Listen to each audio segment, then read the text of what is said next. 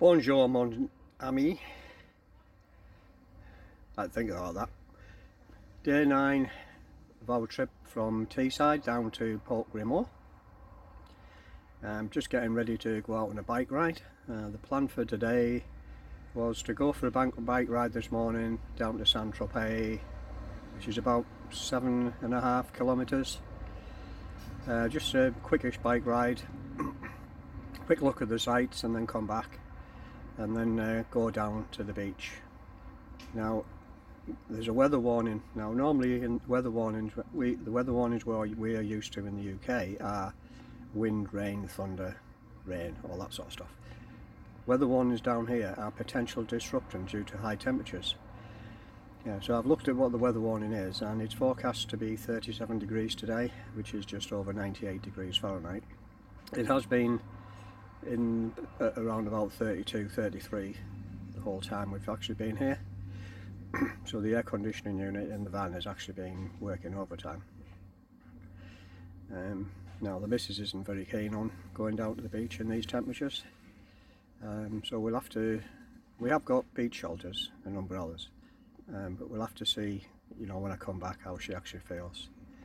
So so for now I'm just going to uh, get ready and then go out on the bike ride and I'll be back later. A bientôt.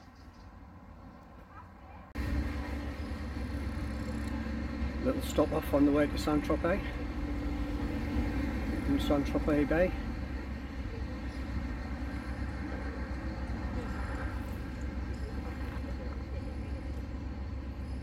Some big yachts out there.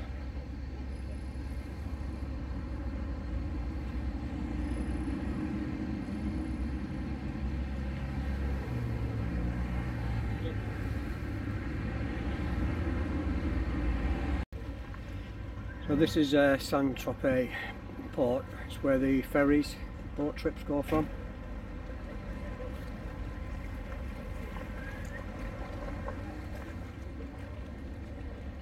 And um, that'll be Port Grimaud right over there in the distance.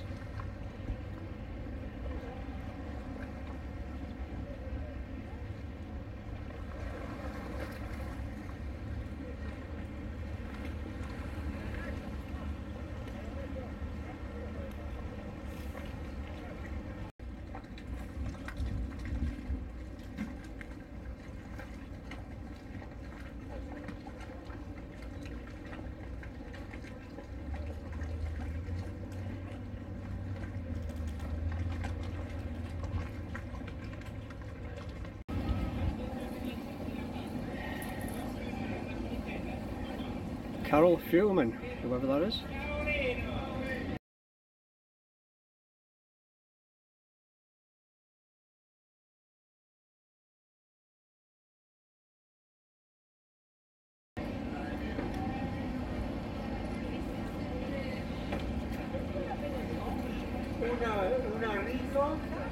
ah, bien corta e non troppo spamato come sempre lui non.